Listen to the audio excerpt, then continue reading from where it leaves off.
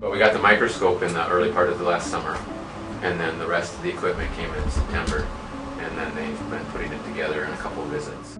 The general concept of a microscope is that we have a specimen on a stage, and that can get illuminated from either side of the slide, and then the light that we want to view gets sent through uh, by using mirrors and optics up through the eyepieces.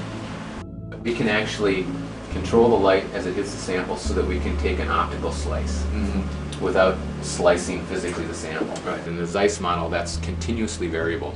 So we can, you know, set Oh, it so you can, like 0.1 micron differences. This allows us to get into the imaging at a level um, that, you know, we'll have to work pretty hard among the faculty to uh, exceed the capacities of this instrument. So that box on the left is shown here in a cutaway view. And we have on the floor there, what looks like a computer, is actually a bank of lasers.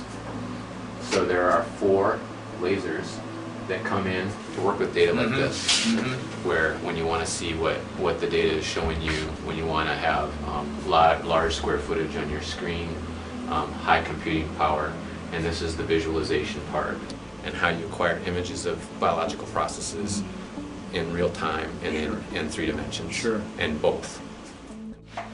How will our students in, in research Right. with faculty be engaged with this? Yeah, so the last summer with the microscope components here, um, we had two students working on it already.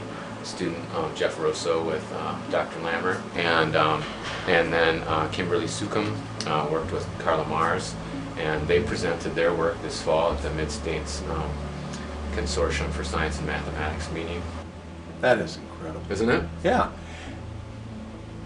Cutting edge technology. It is. Giving you a chance to take your research to some new fronts Yeah. and